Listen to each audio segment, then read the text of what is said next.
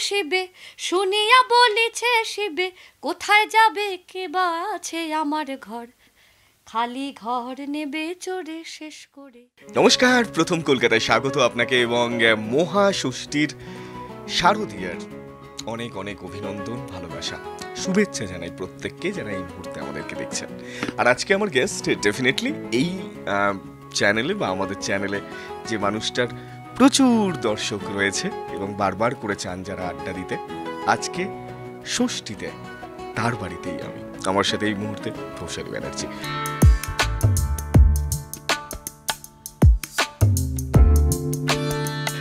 Welcome to প্রথম কলকাতা। নমস্কার শুভ ষষ্ঠী তোকেও এবং আপনাদের সকলকে শুভ ষষ্ঠী। আর এই যে পুজো যখন বলি ন্যাচারালি পুজোর সময় তোমাকে খুঁজে পাওয়া যায় না। মানে ধরা ছোঁয়ার বাইরে চলে যাও। এবছর পুজোর কোথায় কি প্ল্যান আছে? পুজো এই তোর ইন্টারভিউটা শেষ হবে। আমি কালকে দুপুরবেলা বেরিয়ে যাব বম্বে যাচ্ছি। এবার বম্বে আর পুনাতে শো আমার। আমি ওই গোটা পুজোটায় ওখানেই থাকব। ওখানকার যারা বাঙালি কমিউনিটিস তাদেরকে গান শোনাতে যাচ্ছি। সাধারণ মানে পুজোতে ন্যাচারালি তোমার কলকাতায় থাকা হয় না তাই না? আমি কোনোদিন ঠাকুর দেখিনি কলকাতার। কোনো দিন না। এবার এটা এবার এটা কীভাবে নেবেন সত্যি আমি জানি না। আমার প্রফেশনটাই তো অন্য- অন্যরকম, কারণ আমরা যারা পারফর্মিং আর্টস মানে আমরা যারা শিল্পী মানুষ, তারা এই সারা বছর যেমন মানুষদের আনন্দ দিচ্ছে, সেটা যেমন একটা আনন্দ।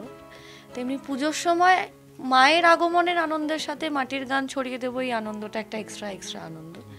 কৌশলীতে যদি একটু ছোটবেলার দিকে চলে যাই বা একটু ফিরে যদি যাই সেই সময় পুজোগুলো কীভাবে কাটাতে আমার কাছে যদি কেউ এই প্রশ্নটা যখনই কেউ করে, পুজো বলতে তুমি কি বোঝো? শৈশব, ছোটবেলাকার।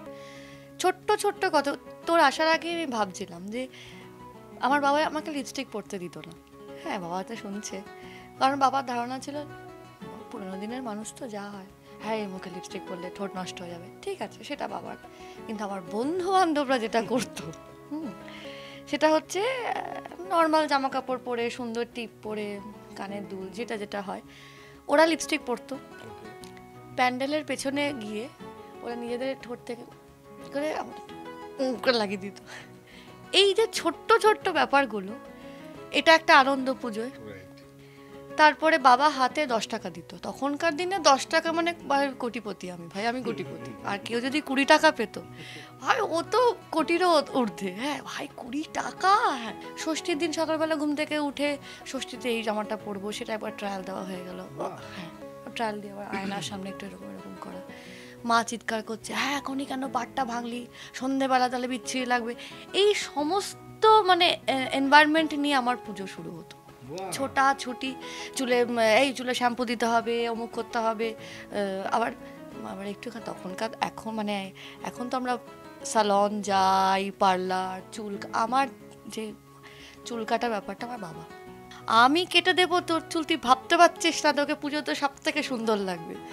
কেটে দিল একটা মোটামুটি বাটি ছাড় টাইপের বাবা, এটা কি চলবে? এটাই এটাই সেরা সেরা।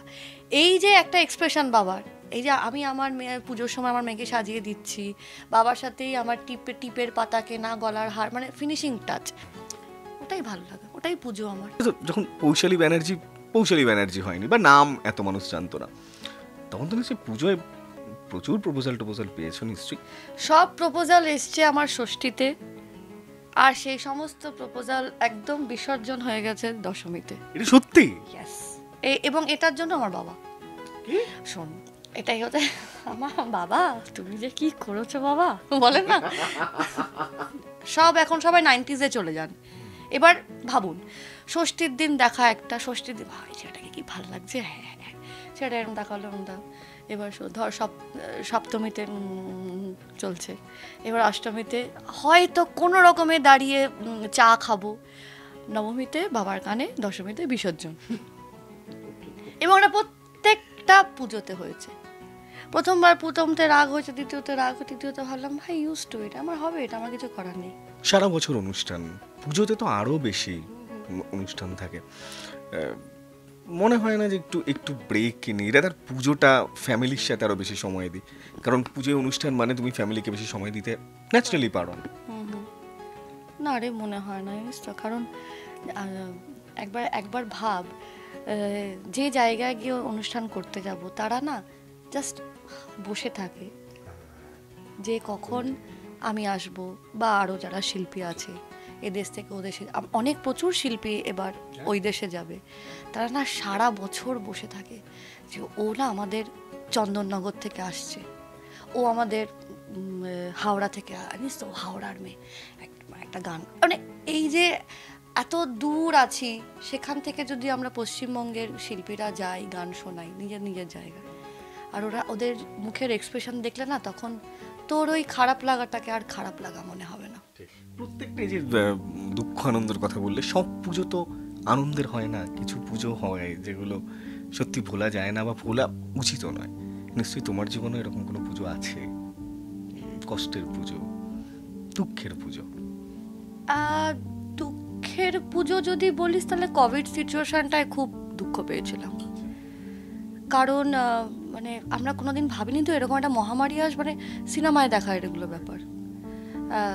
ওই বছরটা খুব দুঃখ পেয়েছিলাম। মানে পদঘাট শূন্য, সেরকম কোনো প্রপাগান্ডা নেই, পুজো নিয়ে কোনো এক্সাইটেড এক্সাইটমেন্ট নেই, সবাই একটা ভয় আছে। আদৌ আমার বাড়ির লোক কোভিডে থাকবে কি মারা যাবে? এই এই, এরকম একটা সিচুয়েশনে সেই বছর পুজোটায় আর কোনো অনুষ্ঠান নেই। আমরা তো শিল্পী মানুষ।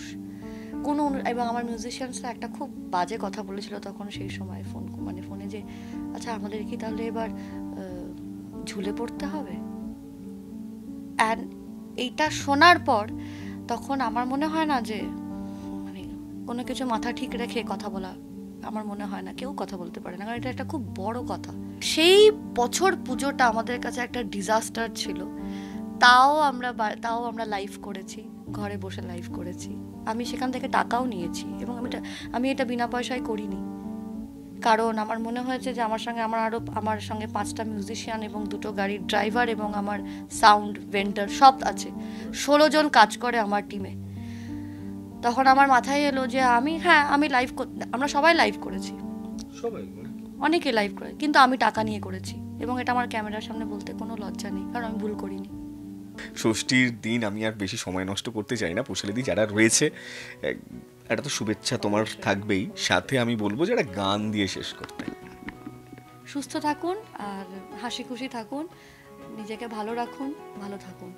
একদিন কৈলাসেতে শিবের সনে কৈলাসেতে শিবের সনে বসিয়া পার্বতী কয় দয়াময়। ওগো নাইর যাইতে আমার মনে লয়। শুনিয়া বলেছে শিবে, শুনিয়া বলেছে শিবে, কোথায় যাবে, কে বা আছে আমার ঘর? খালি ঘর নেবে চড়ে শেষ করে। একদিন কৈলাসেতে শিবের সনে, কৈলাসেতে শিবের সনে বসিয়া পার্বতী কয়, দয়াময়, ওগো নাইর যাইতে আমার মনে লয়।